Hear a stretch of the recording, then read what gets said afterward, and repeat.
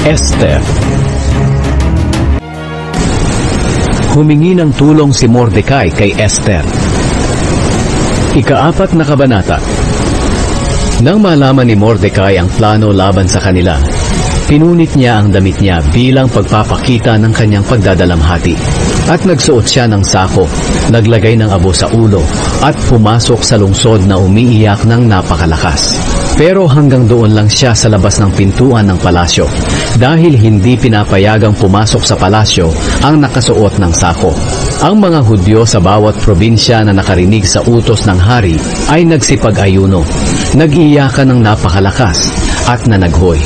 Marami sa kanila ang nagsuot ng sako at humiga sa abo. Nang malaman ni Reyna Esther ang tungkol kay Mordecai sa pamamagitan ng mga alipin niyang babae at mga pinunong nangangalaga sa kanya, nalungkot siya. Pinadalhan niya ng damit si Mordecai para palitan ang kanyang suot na sako. Pero hindi niya ito tinanggap. Kaya ipinatawag ni Esther si Hatak. Isa siya sa mga pinuno ng hari na itinalagang mag-asikaso sa kanya. Pinapunta niya si Hatak kay Mordecai para alamin kung bakit siya nagkakaganoon. Kaya pinuntahan naman ni Hatak si Mordecai sa plaza ng lungsod na nasa harap ng pintuan ng palasyo. Sinabi sa kanya ni Mordecai ang lahat ng nangyari at kung magkano ang ipinangako ni Haman na ibibigay sa taguan ng kayamanan ng kaharian ng Susa para patayin ang lahat ng Hudyo.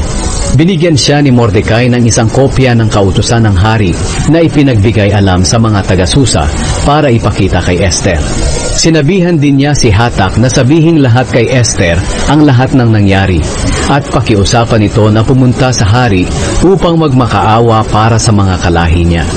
Bumalik si Hatak kay Esther at sinabi ang lahat ng sinabi ni Mordecai. Pinabalik muli ni Esther si Hatak kay Mordecai at ipinasabi ang ganito. Alam ng lahat sa buong kaharian na ang sino mang lalapit sa hari sa loob ng kanyang bulwagan, lalaki man o babae na hindi ipinapatawag, ay papatayin. Maliban na lang kung ituturo ng hari ang kanyang gintong setro sa taong ito. At isang buwan na akong hindi ipinapatawag ng hari. Pagkatapos na masabi kay Mordecai ang ipinapasabi ni Esther, ito naman ang ipinasabi niya kay Esther. Huwag mong isiping ikaw lang sa lahat ng Hudyo ang makakaligtas dahil sa palasyo ka nakatira. Sapagkat kahit na manahimik ka sa panahong ito, may ibang tutulong at magliligtas sa mga Hudyo. Pero ikaw at ang mga kamag-anak mo ay mamamatay. Baka nga kaya ka ginawang reyna ay para mailigtas mo ang kapwa mo mga Hudyo. Ito naman ang ipinasabi ni Esther kay Mordecai. Humayo ka, tipunin mo ang lahat ng Hudyo na nandito sa Susa at mag-ayuno kayo para sa akin.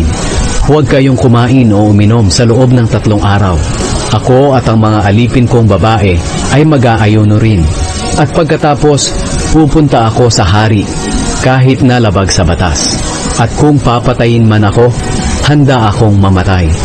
Kaya umalis si Mordecai at ginawa niya ang ipinapagawa ni Esther.